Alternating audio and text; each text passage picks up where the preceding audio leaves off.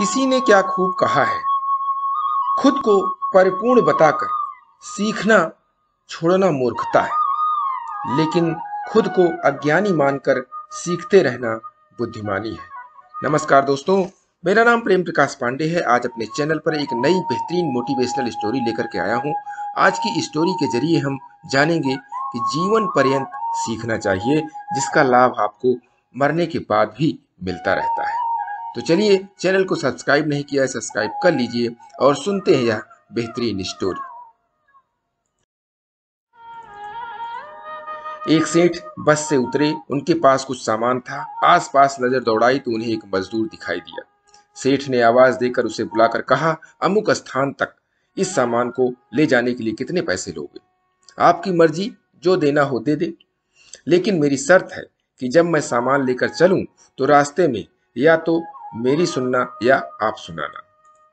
सेठ ने डांट कर उसे भगा दिया और किसी अन्य मजदूर को देखने लगे। लेकिन आज वैसा ही हुआ जैसे राम बन गमन के समय गंगा के किनारे केवल केवट की ही नाव थी। मजदूरी में सेठ ने उसी मजदूर को बुलाया। मजदूर दौड़कर आया और बोला, मेरी शर्त आपको मंजूर है। सेठ ने स्वार्थ के कारण कहा हाँ कर दिया। सेठ का मकान लगभग 500 मीटर की दूरी पर था। मजदूर सामान उठाकर सेठ के साथ चल दिया और बोला, सेठ जी, आप कुछ सुनाओगे या मैं सुनाऊं? सेठ ने कह दिया कि, तू ही सुना।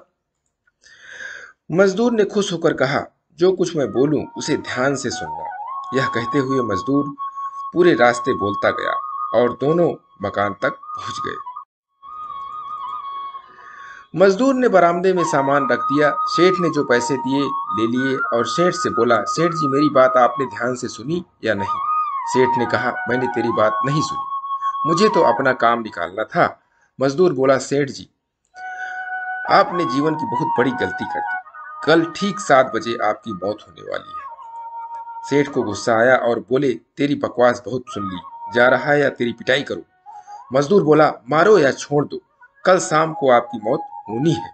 अब भी मेरी बात ध्यान से सुन लो। अब सेठ थोड़ा गंभीर हुआ और बोला, सभी को मरना है, अगर मेरी मौत कल शाम होनी है तो होगी। इसमें मैं क्या कर सकता हूँ? मजदूर बोला, तभी तो कह रहा हूँ कि अब भी मेरी बात ध्यान से सुन लो। सेठ बोला, सुना, ध्यान से देकर सुनूँगा।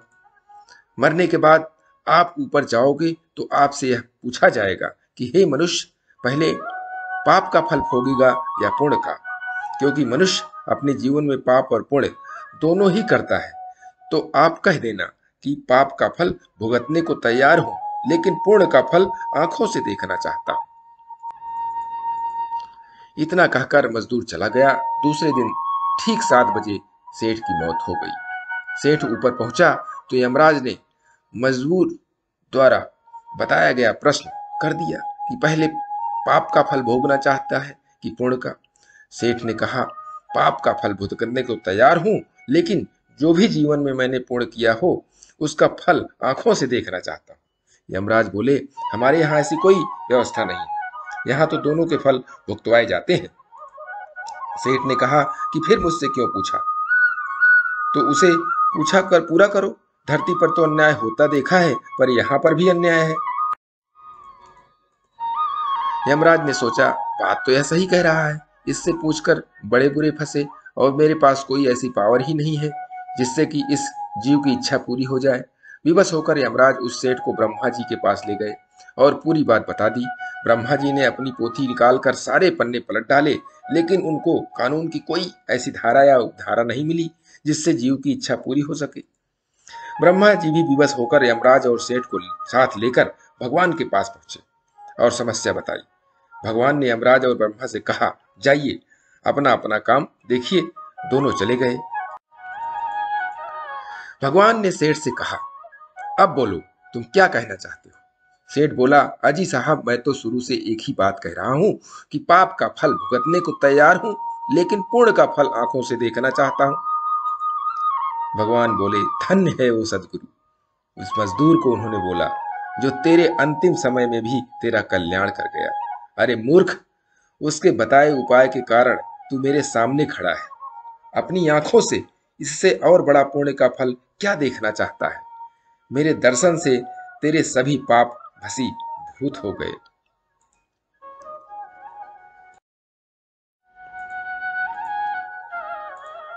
इसीलिए बचपन से दोस्तों, हमको सिखाया जाता है कि गुरुजनों की बात ध्यान से सुननी चाहिए। अच्छी बातें ध्यान से समझनी चाहिए पता नहीं कौन सी बात जीवन में कब काम आ जाए। कहते हैं ना कि जीवन भर आदमी को सीखना चाहिए, सीखते रहना चाहिए, अच्छी बातों को ग्रहण करते रहना चाहिए, छोड़ना चाहिए, नहीं चाहिए। क्योंकि सदगुरु हो या माता पिता हो, सभी की अच्छी बातें सुनने और ग्रहण करते रहना चाहिए। इसके लिए प्रतिदिन सुबह साढ़े पाँच बजे एक नई कहानी, एक नई उमंग से करें दिन की शुरुआत। तब तक के लिए छोटों से मिले प्यार और बड़ों से मिले आशीर्वाद और भगवान के सहारे के साथ यही कहूँगा कि काम तो सभी करते हैं, पर काम करो कुछ ऐसा कि उदाहरण बन जाए। ये छोटी सी स्टोरी आपको अच्छी लगी तो लाइक कर दीजिए शेयर कीजिए अपने इस मित्रों में भी और कमेंट ज़रूर करिए और चैनल को अभी तक सब्सक्राइब नहीं किया है सब्सक्राइब कर लीजिए और नई नई बेहतरीन मोटिवेशनल स्टोरी पाने के लिए प्रेस बेल आइकन